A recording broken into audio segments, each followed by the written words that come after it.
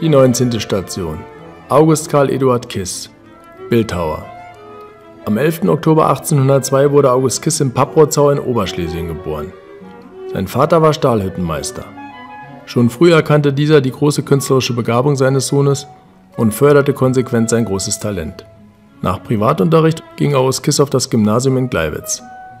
Danach erlernte Kiss in der königlichen Eisengießerei in Gleiwitz den Beruf des Medailleurs. 1822 zog er nach Berlin, wo er in der Medailleurwerkstatt der Berliner Eisengießerei arbeitete und zugleich Unterricht im Ziselieren und Porträtieren erhielt.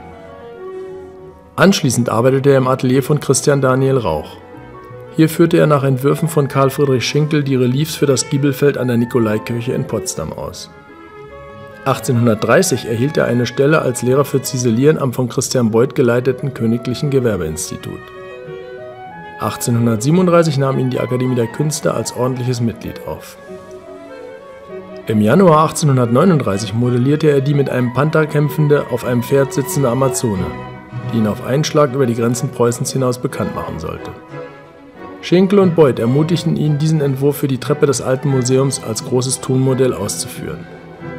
1839 wurde es dort ausgestellt und so positiv aufgenommen, dass Berliner Kunstfreunde einen Förderverein für den Guss der Skulptur gründeten.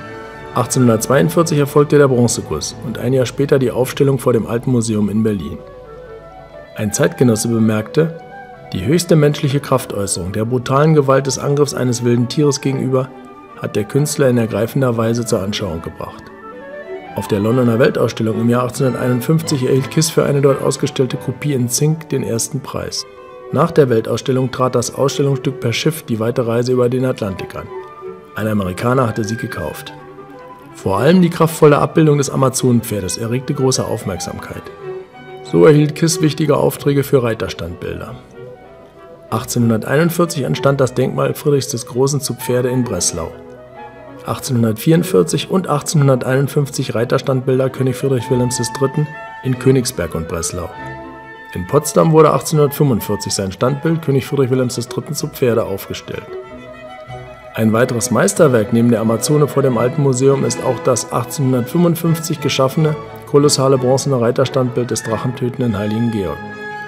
Dieser einmalige Großplastik stand ursprünglich im Hof des Berliner Stadtschlosses und hat jetzt seinen Platz im Nikolaiviertel gefunden. 1856 schuf Kiss die Statue des Erzengels Michael, die auf dem Dach der St. Michaelskirche auf dem Michaelkirchplatz steht.